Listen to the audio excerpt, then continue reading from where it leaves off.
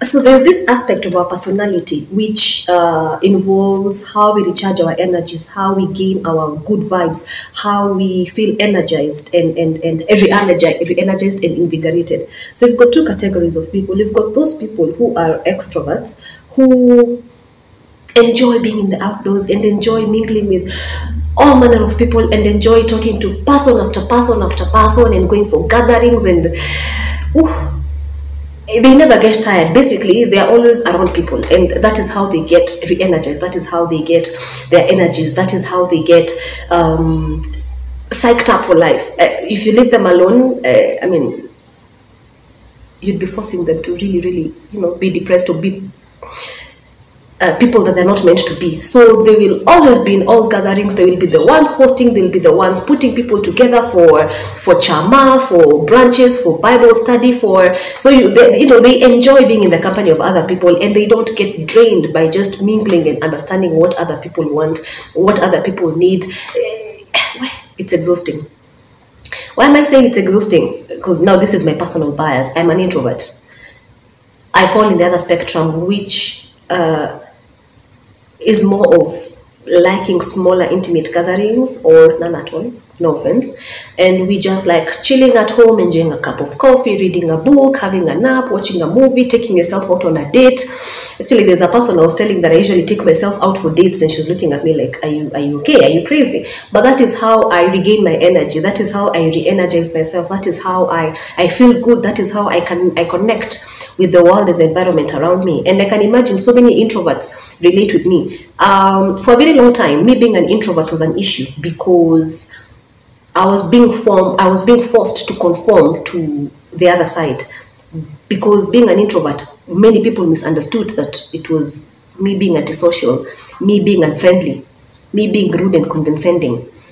And it's, it's got nothing to do with that. It's just I enjoy my own space. I don't appreciate being in large gatherings. And when I find myself in such large, uh, large gatherings, at the end of it, it is so exhausting. Um, I will literally lock myself in the house for a week just to recover from the other episode.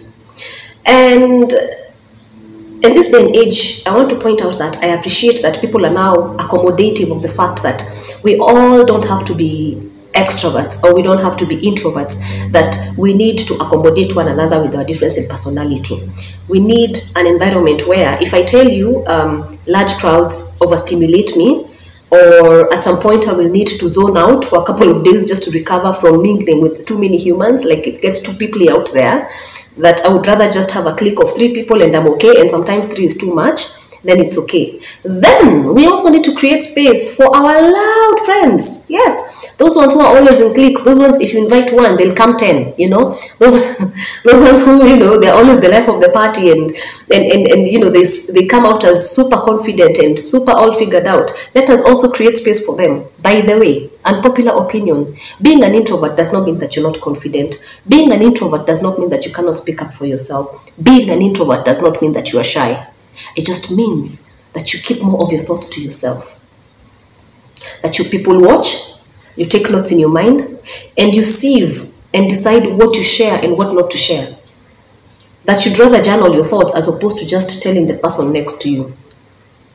That you'd rather have a small clique of people who you feel comfortable with and at ease than being around 30 people and none of them you get to create an authentic, um, intimate connection with one another.